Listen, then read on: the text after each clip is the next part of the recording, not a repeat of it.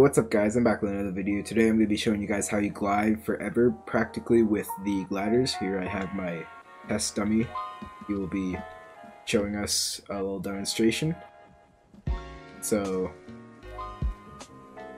as you guys can see, that is not how you do it.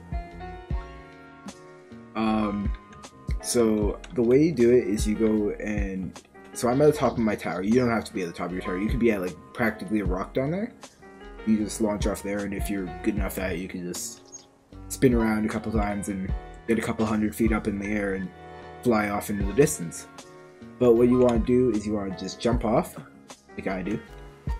Anything you have, try and get a little bit of speed, and then just start leaning to the side, or like turning.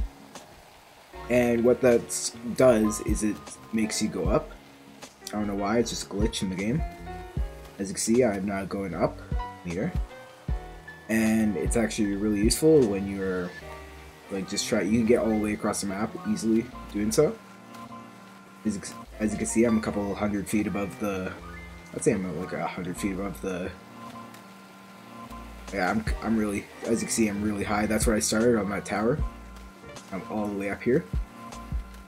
And yeah, that's basically all you gotta do. You just press uh, either D or A.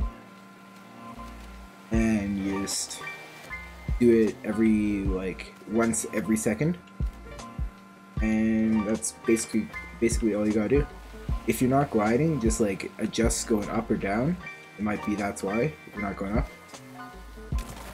Yeah, so drop a like and I'll see you on the next one. Peace.